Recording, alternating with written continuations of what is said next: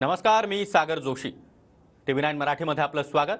गावखेड्यातील महत्त्वाच्या बातम्यांचा वेगवान आढावा आपल्याला घ्यायचाच आहे मात्र तत्पूर्वी एक महत्त्वाची बातमी आहे. शिक्षक आमदार कपिल पाटील यांच्या पक्षाची आता घोषणा झाली आहे. समाजवादी गणराज्य पार्टी असं कपिल पाटील यांच्या नव्या पक्षाचं नाव आहे.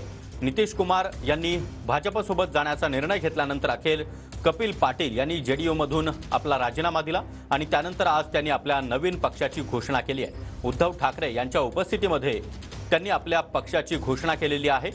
आणि समाजवादी गणराज्य पार्टी असं आपल्या नवीन पक्षाला कपिल पाटील यांनी नाव दिलं आहे